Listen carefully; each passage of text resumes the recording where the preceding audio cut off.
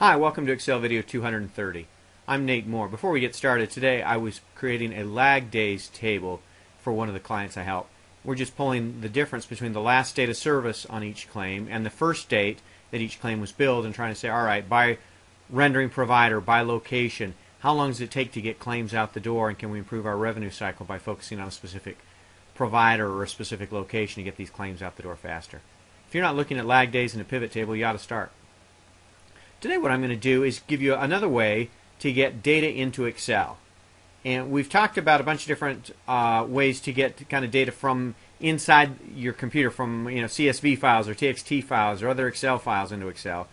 If you go to the Data tab and get external data from the web, you can get data from the web too. And if I just click down here, we're going to pick Google Finance. And sometimes you get errors at google.com, but we're not going there.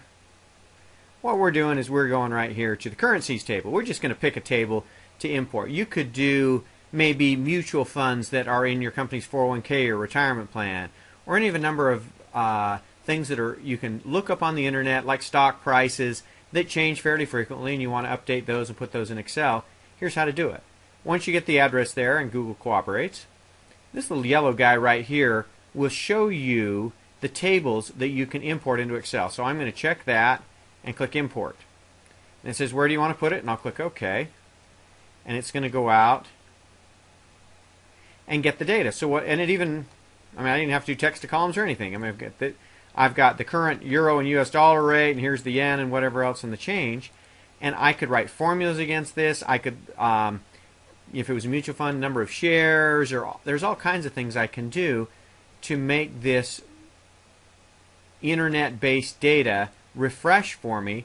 And then the other thing you can do is if we look at the properties of this connection, we can go through and every time I open the spreadsheet, I can refresh the file. So all I got to do is open Excel and it'll go out to the internet to google.com or wherever else I got my data and bring back the current values of my mutual funds or my stock prices or currency rates or whatever it is you want to see.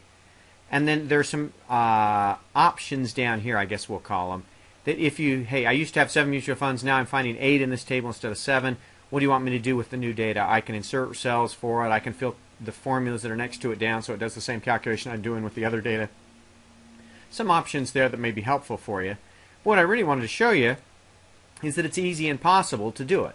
From the Data tab, get external data, and then from the, I've got to get outside here so I can put more data in from the web, and then you just navigate to whatever site you want. Look for the yellow arrow, click that, check the box, and click OK.